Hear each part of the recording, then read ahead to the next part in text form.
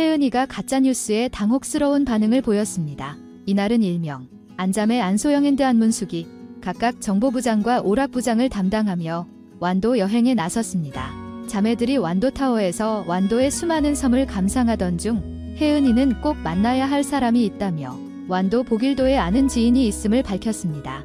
이어 25년 동안 못 본 사이라는 이야기를 들은 안문숙은 전화라도 한 통 해보라며 혜은이를 부추겼습니다.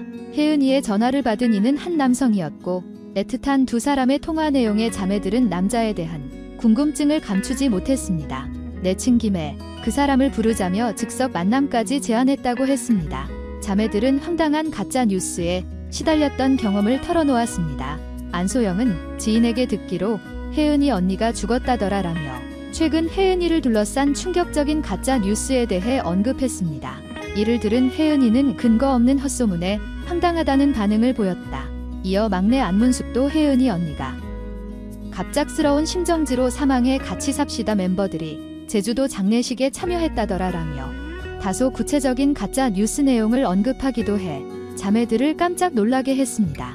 그 외에도 혜은이를 둘러싼 별의별 루머에 대해 당사자인 혜은이가 직접 입을 열었습니다. 안문숙이 처음으로 아버지에 관한 이야기를 털어놓았습니다. 어렸을 때 아버지가 돌아가셔서 아버지에 대한 기억이 없다라며 말문을 연 안문숙은 어머니에게 듣기로는 내가 아버지와 똑 닮았다더라라며 문숙을 보며 돌아가신 아버지를 떠올렸던 엄마를 추억했다. 또한 자신도 스스로의 모습을 보며 종종 돌아가신 아버지의 모습을 상상했던 어린 시절을 회상했습니다. 이어 안문숙은 유독 지냈던 쌍꺼풀 때문에 동네에서도 유명했다며 그 때문에 근거 없는 소문으로 손가락질 받았던 지난날의 아픔을 고백했습니다. 혜은이는 대한민국 이 가수이자 1970년대 후반에 신드롬을 일으킬 정도로 당시 대한민국에서 가장 인기 있는 가수였습니다. 1975년 데뷔곡 당신은 모르실 거야부터 메가 히트를 기록했고 이어서 진짜 진짜 좋아해 파란 나라 띠띠빵빵 당신만을 사랑해 감수광 제3한 강교 새벽비 등 작곡가 기로균과 호흡을 맞춘 곡들이 국민가요 수준의 대히트를 쳐 1970년대 대한민국 최고 인기 가수가 되었다. 당시 가수들 인기에 척도나 다름없었던 MBC 10대 가수 가요제에서 1977년, 1979년 가수왕에 오르며 당대 최고 인기 가수임을 입증했습니다. 가수뿐만 아니라 다수의 드라마와 영화에서 연기도 하는 등 70년대 아이유였다고 할 수 있습니다. 1984년 나이 차이가 많이 나는 사업가와 결혼했는데 이때 이미 5개월 된 딸을 임신한 상태에 속도의 반결혼이어서 화제가 되었습니다. 그러나 1988년 성격 차이를 문제로 4년 만에 이혼하게 된다. 딸아이는 전 남편 품으로 갔습니다. 이후 혜은이는 김동현과 재혼하게 되는데 김동현은 초혼이었기 때문에 김동현 집안의 반대가 굉장히 심했지만 김동현의 적극적인 구애로 결국 1990년 결혼하게 되었고 둘 사이에 아들 한 명을 두고 있습니다.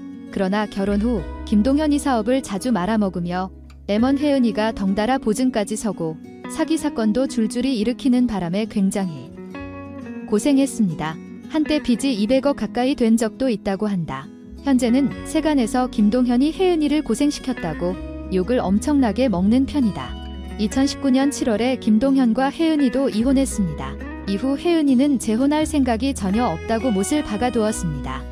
1979년 초에 익산에 살던 소녀 팬이 혜은이를 만나려고 무작정 상경 방송국 앞에서 한 달을 버틴 끝에 혜은이를 만나는 해프닝이 있었습니다. 이 해프닝은 MBC의 재현 프로그램인 타임머신에서 혜은이 언니 사랑해요 라는 제목의 에피소드로 극화하기도 하였습니다. 에피소드 말미에 타임머신 제작진이 혜은이를 찾아가 인터뷰를 진행했습니다. 제작진이 소녀 팬이 혜은이를 만났다는 잡지에 실린 기사 이야기를 꺼냈는데 혜은이 본인도 이 기사를 기억하고 있다고 한다. 2020년 1월 EBS에서 싱어즈 시대와 함께 울고 웃다 혜은이 편이 방송되었습니다. 김동현님과 결혼 생활을 하면서 김동현님의 계속되는 사업 실패로 좋은 아는 소식으로 뉴스에 오르막 내리막한 적이 많은 것 같습니다. 그때마다 항상 안타까운 마음이었는데요. 본인은 얼마나 마음고생을 하고 힘이 들었을지 상상이 안 되는 부분입니다. 하지만 2019년 7월에 김동현님과도 이혼을 했습니다. 김동현님이 미안한 마음에 혜은이님에게 계속 이혼을 말했었고 혜은이님은 계속 참아보자면 김동현님을 다 독였다고 합니다. 하지만 결국 이혼을 했지만 오랜 세월 같이 살았고 미운정 고운정이 다 들었을 만큼 지금도 마음으로는 서로를 응원하고 사랑하지 않을까 생각됩니다. 가수 혜은이님에게는 1984년에 결혼해서 낳은 딸이 한 명 있었지만 양육권이 전 남편에게 있어서 오랫동안 볼 수가 없었고 30년 만에 딸을 만났다고 합니다. KBS 1TV 가요 무대 스페셜에 출연한 혜은이가 주목을 끌고 있는 가운데 그의 파란만장한 인생사가 재조명되고 있습니다. 2020년 6월 9일 비디오 스타 200회 레전드 특집 회자미 관광 특집에 출연한 혜은이는 처음부터 가수가 되고 싶어서 가수가 된 게 아니라 생계를 책임지는 소녀가장이 돼서 노래를 부르게 되었다고 밝혔다. 데뷔 때부터 신드롬을 일으킬 정도로 큰 사랑을 받았지만 개인 시간은 조금도 없이 차에서 쪽잠을 자면서 마치 기계처럼 생활해야 했기 때문에 노래할 때는 행복하다는 생각을 하지 못했다고 한다. 그런데 나이가 들면서 타고난 목소리에 감사해야겠다는 생각이 들었고 뒤늦게 가수로서의 행복을 깨닫게 되었다고 한다. 30년 만에 홀로 서기를 결정한 뒤 가수 혜은이를 사랑하는 줄로만 알았는데 인간 혜은이를 사랑해주는 많은 사람들의 반응에 깜짝 놀랐다고 한다. 또 김동현이 정말 미안하다고 했다며 눈시울을 붉혔습니다. 그리고 이혼을 안 한 이유가 혜은이가 아들을 임신해 입덧으로 아무것도 못 먹고 링거로 영양분을 공급받고 있을 때 김동현이 꽁치캔으로 꽁치김치찌개를 만들어줘 그것으로 막달까지 버텼다고 한다. 아마도 김동현의 그런 마음에 이혼을 못하고 있던 것 같습니다.